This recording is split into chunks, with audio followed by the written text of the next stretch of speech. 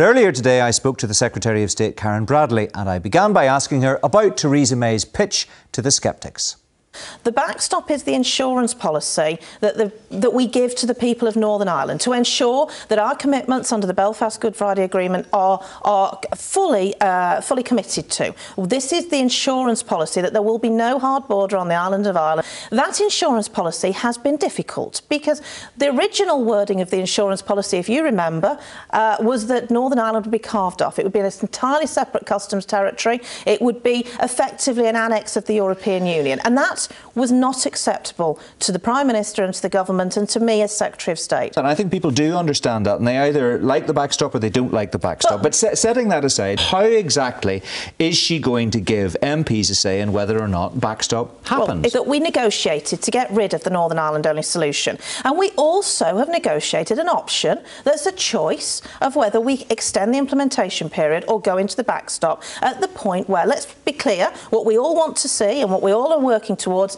is a future relationship that's in place for the 1st of January 2021. But if that isn't the case, we have now got an option to extend the implementation period and not go into the backstop at all. And, and we will have to take a decision as to whether to do that. Now, clearly, there's pros and cons. In the backstop, the, the free movement ends. In the backstop, there's no payments to Europe. In the backstop, the common fisheries policy ends. So, so in the backstop, there are some things that people are looking to achieve. But clearly, the implementation period uh, has attractions because it means that, for example, our trade deals that we have with the European Union uh, or the European Union is currently negotiated with third countries would carry over. If we're not in the implementation period, that is necessarily the case, and certainly isn't the case in a no-deal situation. So quite clearly we have a choice. And I think that uh, looking at Parliament taking that choice is, is, is worth doing. I think that's something that is a good idea because actually Parliament taking that decision and so do you think that is enough, people... Is that enough to persuade some potential rebels to peel off and support the withdrawal vote oh.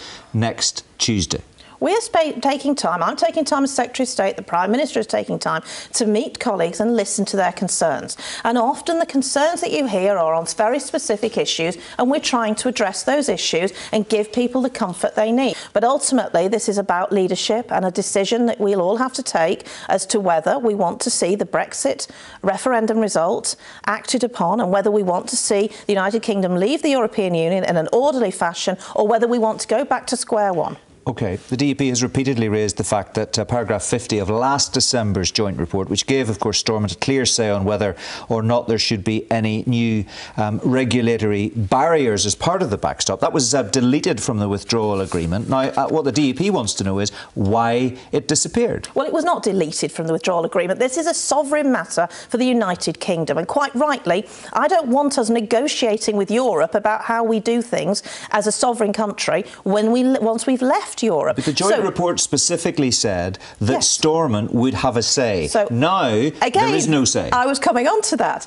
Um, the paragraph 50, the commitments in paragraph 50 of last year's joint report still stand. The government absolutely committed to there being Stormont having a lock, and we need Stormont back, and I'm sure we'll come on to that later. We absolutely need Stormont back for this. But we also need to ensure unfettered access to the market for Northern Ireland businesses, as was committed to in paragraph 50. So if, that, so if that's the will... case, if it's still there, why has it been removed? But, it, mean... but it, should it was never going to be in a withdrawal agreement because this is a sovereign matter for the United Kingdom. And I don't well, it's think... caused a problem for the DUP. But I don't think anyone wants to see the United Kingdom having to negotiate with Europe about how we manage our affairs once we've left the European Union. This is a sovereign matter for the UK. We are working at how we, as the UK, independent of Europe, can make sure we deliver on the commitments. But the right. commitments stand. Nobody has reneged on any commitments from the joint report. What do you say is right, that means Stormont would effectively have a veto on progress. If that hasn't been removed and it's still there, and that should reassure the DUP,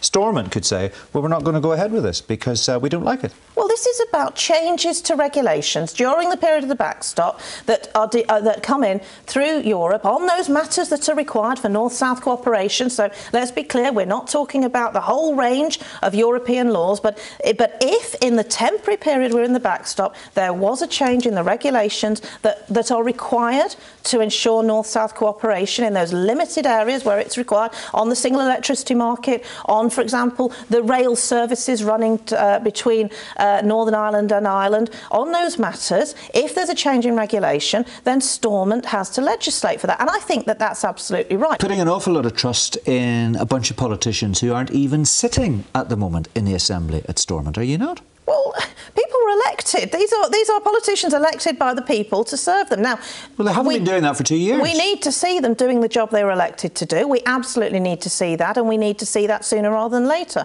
Of course, we want to see the Stormont lock, and we want to see that Stormont lock uh, uh made uh, given people the comfort that that will happen. Yeah. We're looking at the best way to achieve that. But you can understand the nervousness on the part of uh, DUP MPs and others whenever they see uh, your government drag kicking and screaming to the publication of the legal advice. And when that legal advice talks about the backstop plans risking a stalemate and protracted rounds of negotiations with the EU, we know the Prime Minister was told the arrangement designed to prevent a hard border here could last indefinitely and the UK could not lawfully exit from it without EU agreement. You can understand why Nigel Dodds and others are so nervous when they read that from the pen of the Attorney General. Well, two two points here. The first is about the publication of the legal advice. And there was a very, very important principle here, which was legal privilege that applies to advice given by a lawyer to its And you clients. lost that vote and you had to publish. And, and so we published. But there's nothing in that legal advice that hadn't been said at the dispatch box by the Attorney General, the Prime Minister, or by me, or hadn't been published in the detailed uh, legal position that was set out and published on Monday. An unprecedented step, it has to be said. I have said publicly that I am uncomfortable about not having a unilateral withdrawal mechanism for the backstop. But you're still prepared to take but, the risk? But this is where leadership comes in. This is where political risk comes in. I have looked at how likely I think it is that we will be held in a backstop against our will. And in fact, the Attorney General was exa asked exactly this question on Monday. He was asked, is there any possibility that the United Kingdom could be held in the backstop indefinitely against his will, against its will? And his answer was a very unequivocal no. Now, this is a matter of political risk. I'm afraid there are sometimes in life where there isn't legal certainty over matters, that the issue becomes how much risk are you prepared to take. Now, I believe the mitigations that have been put in place to ensure that the backstop either never, we never go into it, or if we go into it, it's temporary. I believe that the mitigations that are there and the comfort that I have received means that I believe that risk is worth taking. Yeah, but the difficulty that you've got is delivery. persuading others. The DUP have looked at it as well, of and they have decided, uh, and I'm sure they would say that they are offering sound political leadership to their voters and they are not averse to taking risks when it's a calculated risk. They've looked at the same evidence you've looked at and they've come to a very different conclusion. They're not prepared to gamble away the sovereignty of Northern Ireland as they see it, the, uh, eh, the, the, the integrated nature of the United Kingdom on a promise. But as I say, there are many things that happen in life where there isn't a binary uh, black and white solution, that actually there is a risk. And you're right to call it, Mark, a calculated risk. So you have to look look, as a politician and as a leader, you have to look at, at whether you believe the worst case will come to pass. And are there mitigations that you can put in place to stop the worst case coming into pass? Now, I believe that those mitigations are there. I do not believe that we will be in a situation where we'll be held in the backstop against our will. Well, that's your interpretation. We know what the DUP's interpretation is. It's not alone within unionism. You'll have heard the, first, the former First Minister, Lord Trimble, in Parliament saying today um, if uh, the Commons and the Lords do not kill the backstop now, it will haunt us for years, decades, maybe even generations. I mean, was part of your calculation here that unionism and the DUP in particular would back your assessment and support the Prime Minister.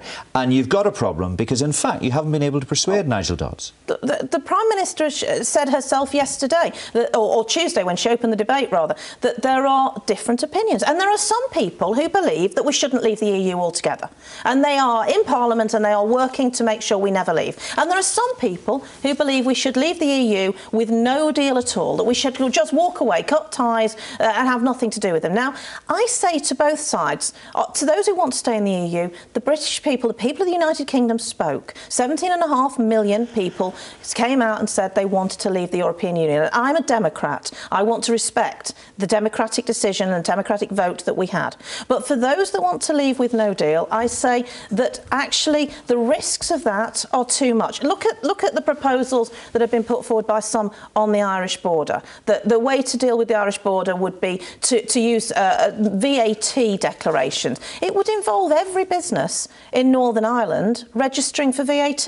Now, I think that's quite a big regulatory difference for Northern Ireland to have to Great Britain. I think that's quite a threat to the Union, actually, to put Northern Ireland businesses at a competitive disadvantage like that. So I say we actually have a proposal here, a future framework, a future relationship that will see the whole United Kingdom mm. treated in the same way. What about and your I future, want to go to that. Right. What about your future relationship with uh, the party that's keeping you in office at the moment, the DUP? Uh, when Nigel Dodds says this is potentially devastating for Northern Ireland, uh, when others in his benches use, frankly, more colourful language than that, which is uh, uh, an awful lot more critical, um, you have got a real problem, haven't you?